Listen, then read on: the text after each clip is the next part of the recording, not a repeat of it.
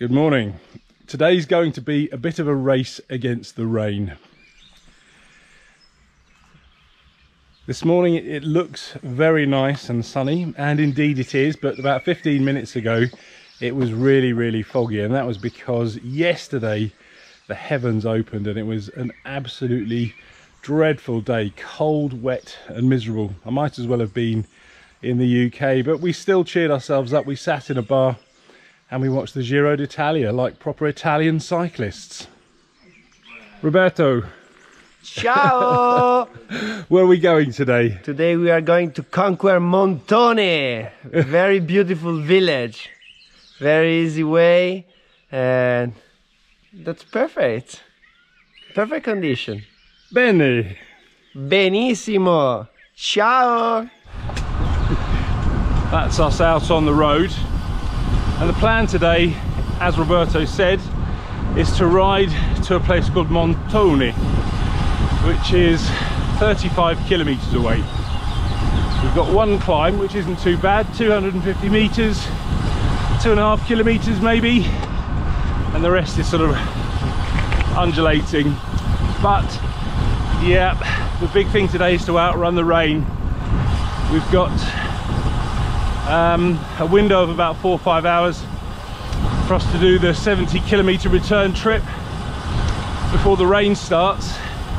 Hopefully though we'll be back having our afternoon meal in Lafon before that even happens.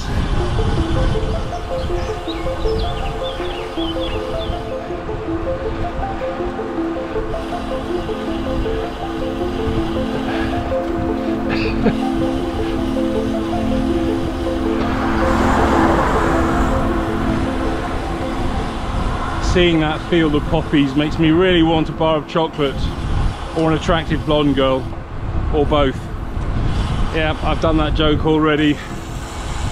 Yeah just recycling being green.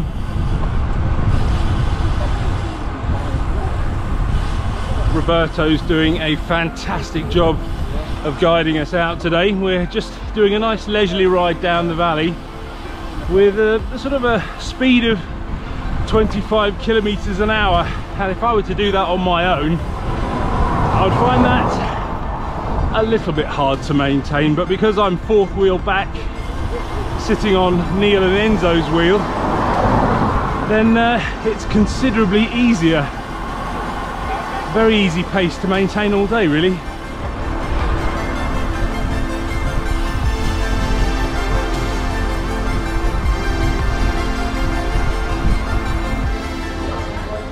20 kilometers in and a quick little coffee stop before we cycle around the town of Umbertide and then head up to Montone. Um, if you see the, the name Umbertide written down, uh, it looks a bit like Umbertide, which makes me think of Humberside. So uh, yeah, a little bit of Yorkshire in the heart of Italy. Not really.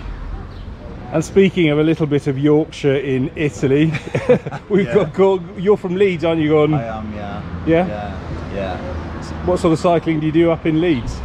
Well, it's uh, very varied. There's hills around Otley, there's a lot of good cyclists, which is about 10 mile away, and then out towards Vale York, Tadcaster, it's fairly flat, and then North Yorkshire, of course, very, very hilly, as you know yourself. Yeah, yeah there's some 30 percenters on yeah, there, towards the North York Moors and going towards Whitby and all that sort of thing. So it's very varied, you know, it's great, really.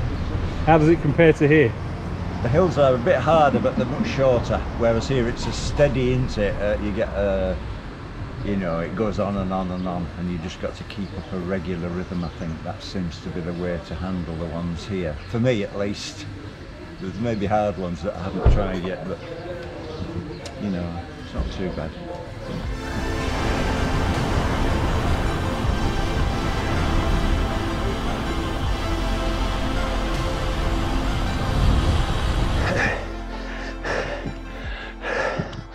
Finally on the climb up to Montone, 2.7 kilometers, and climbing 156 meters.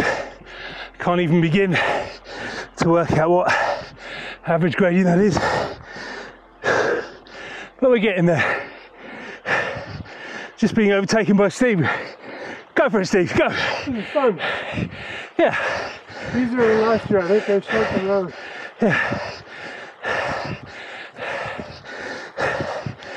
Steve's like a tidal wave, he just keeps coming. Welcome to Montone. That's the third time I've done that climb up to uh, up to the village here. Last time I was on an e-bike. Today I'm on a regular muscle bike, and um, I quite enjoyed that. It was tough, but um, yeah, it was good, and it was quite nice having that fun little ride up with Steve at the very end there. Pizza.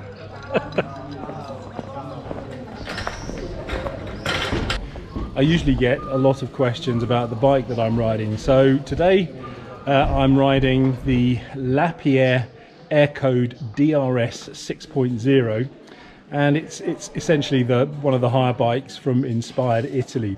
So I've got the large framed one because they didn't have the medium one. Uh, and it's it feels very very comfortable. It feels a little more aggressive than I'm used to, but that could be something to do with the um, the handlebars being just a little bit lower. Um, and gear wise, it uses the uh, Ultegra uh, Shimano Ultegra, and the gear ratio is uh, 50 34 on the front and 11 32 on the back. Looks like the clouds are gathering a bit now. Um, it was bright sunshine when we were sat here in the square to begin with, and then 10 15 minutes later, the, uh, the clouds are starting to bubble up, and there's the chance of rain. I think I've already felt a couple of raindrops, so I think it's time to hit the road and head back to Lisciano Niccone.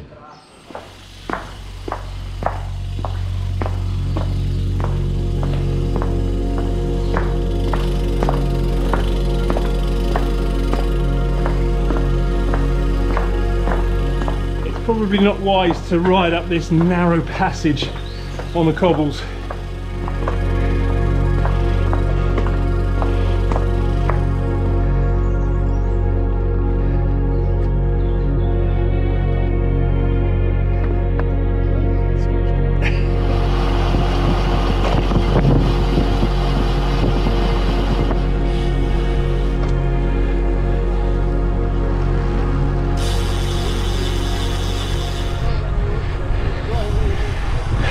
Back a different way. Pardon? We're going back a different way. No, this is the valley road. Oh, is it? Yeah. Already?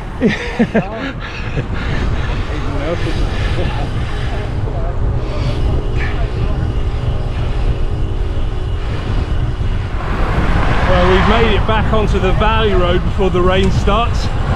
Just another 45 minutes and we'll be back. But it's tough, as usual. There's a headwind just blowing straight down the valley, making it very, very difficult.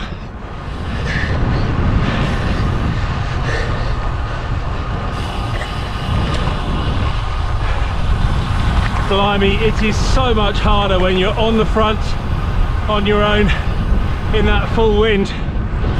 It makes a hell of a difference to have a wheel to follow. I was trying to sit on Gordon and Kevin's wheels, but the elastic's just gone. Just a little bit too tired now.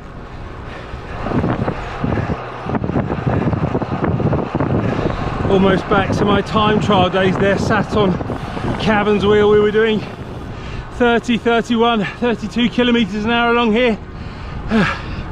yeah, again, the elastic just broke. Just couldn't keep up with him.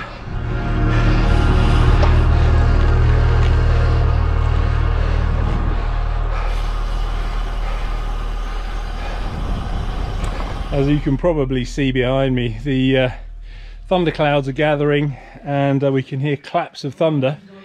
So I think we've only just made it back in time uh, and beat the rain. We've stayed dry, we've had a good ride out, we've seen Montone, had a nice refreshment stop there. All in all, it's been a good day. So uh, 61 kilometers and 400 meters in the bank of fitness. Hear that? Yeah, so uh, I'm glad to be back.